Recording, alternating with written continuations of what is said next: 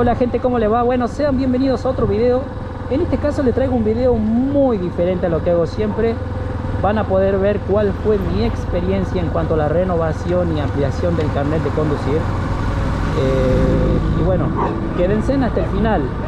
¿Por qué? Porque hay un audio que es bastante curioso, digamos, ¿sí? Y desde ya les aclaro de que, bueno, mi intención no es mala, no es comprometer el trabajo de nadie, pero en fin, eh, hay cosas que tienen que cambiar, gente. Eh, así que bueno, lo dejo con el video, espero que les guste. Y nada, ahí vamos para que estamos acá con él. Hola gente, bueno, ¿cómo le va? Segundo día intentando hacer el trámite de renovación del carnet. En fin, tengo que volver hoy porque ayer eh, fue mi culpa, no tenía todos los papeles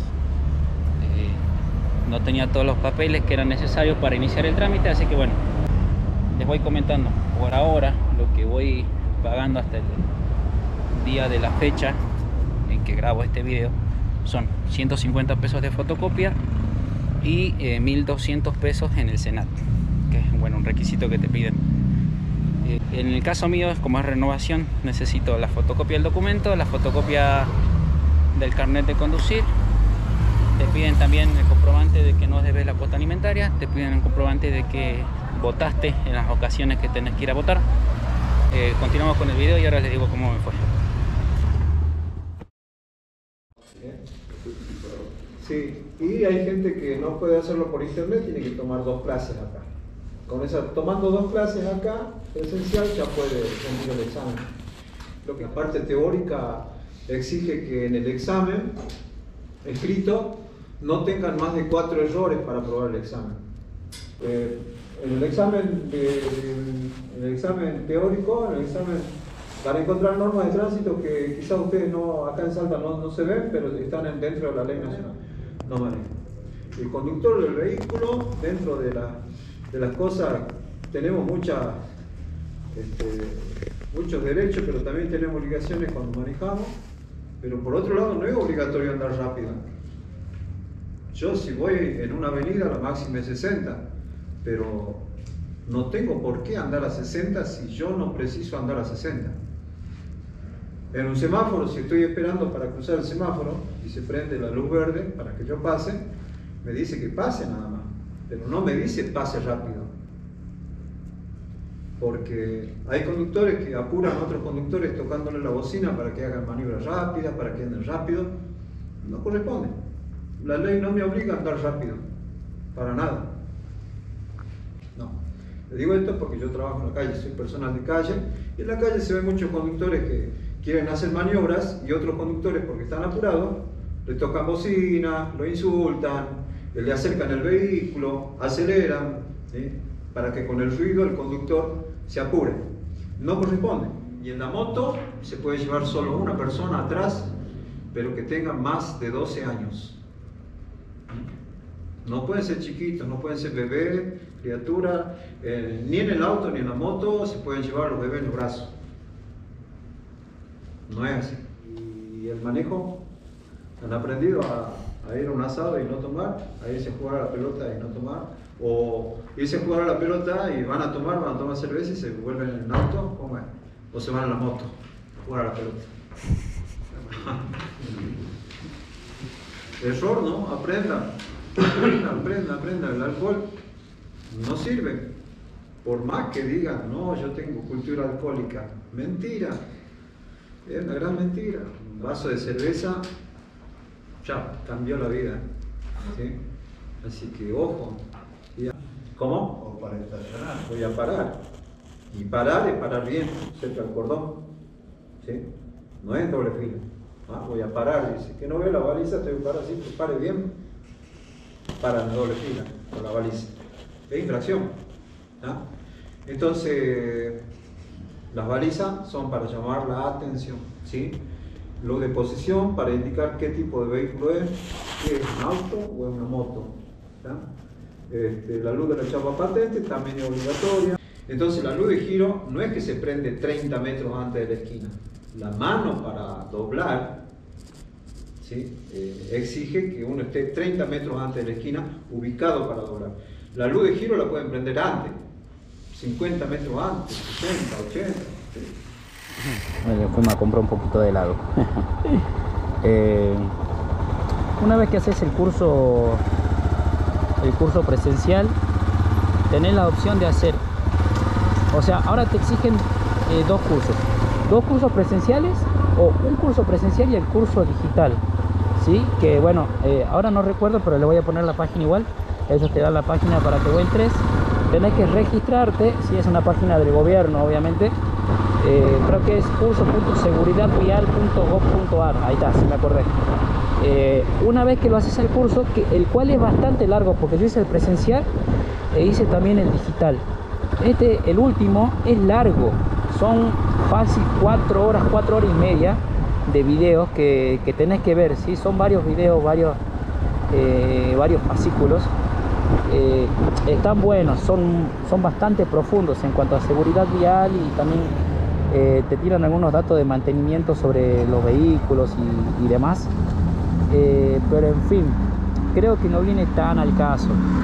Bueno, una vez que lo terminas, puedes descargar un archivo el cual es como una especie de diploma, digamos, de que viste todos los videos.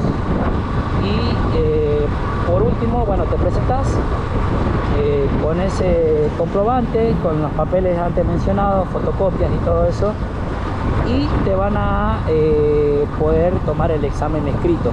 ¿sí? El examen escrito antes vos tenías que sacar un turno y, y lo tomaban a varias personas de una sola vez. Ahora no es así, ahora vos vas, eh, según el horario que vos llegás, te lo hacen a vos solo y punto. Así, el que va llegando lo va haciendo y se va. Eh, bueno, ahora van a ver cómo me fue.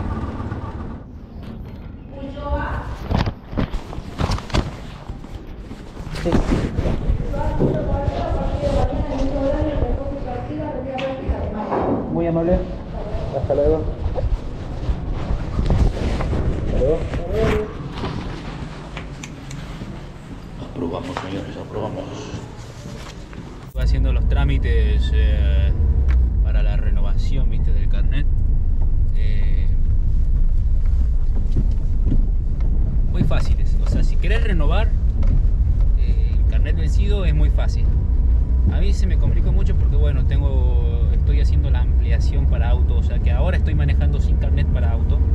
Para ampliar el carnet, ya sea si te compraste una moto más grande o querés ampliar eh, lo que es eh, para auto, como en mi caso, eh, tenés que hacer todo de nuevo. Y bueno, ahora van a ver cómo eh, rendí el examen práctico, ¿sí?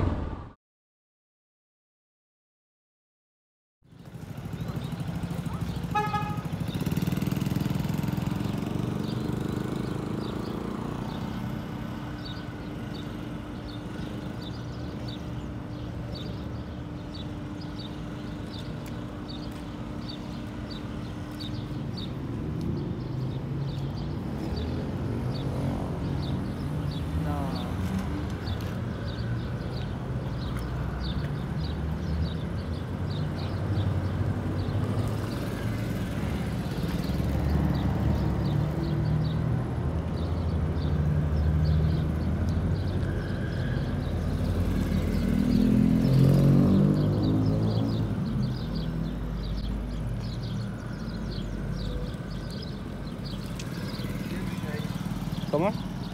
Sí.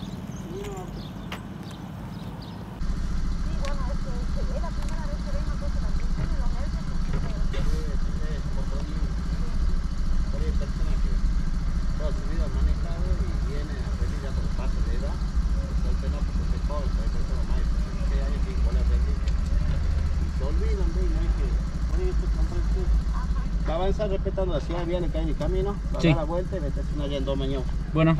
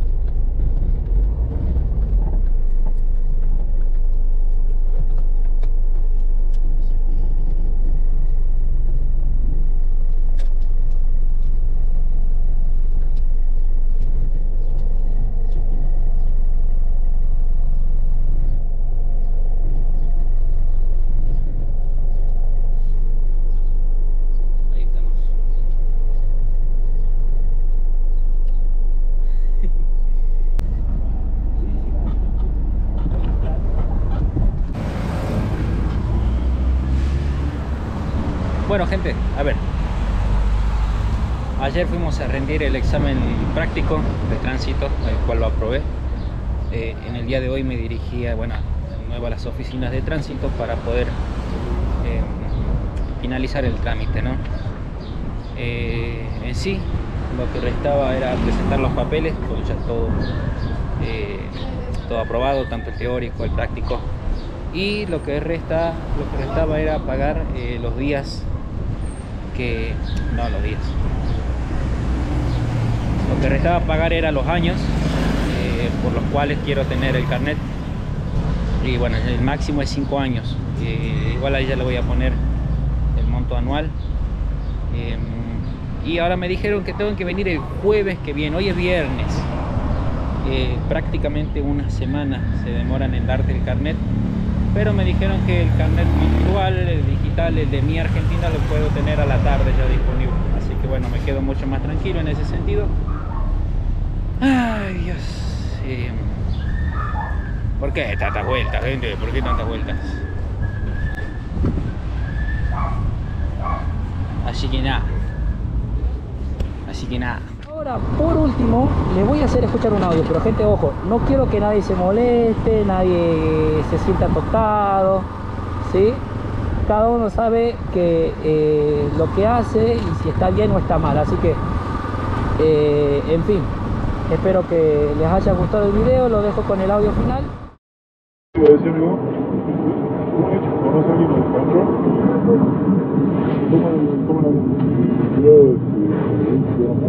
Yo, Ah, pero ¿otra farmacia de otra?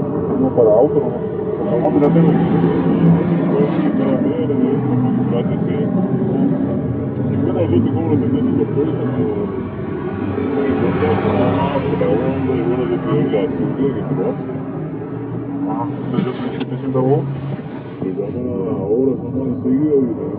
70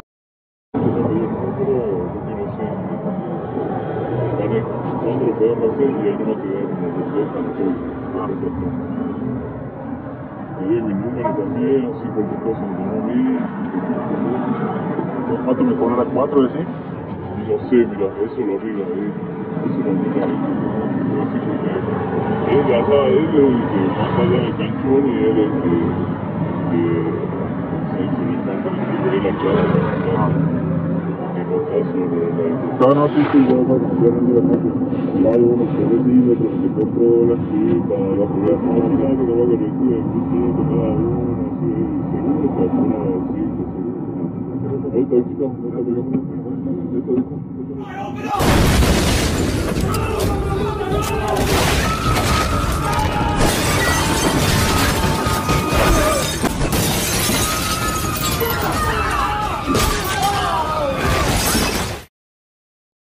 Si te gustó el video, compartilo, suscríbete, como siempre digo, dale like.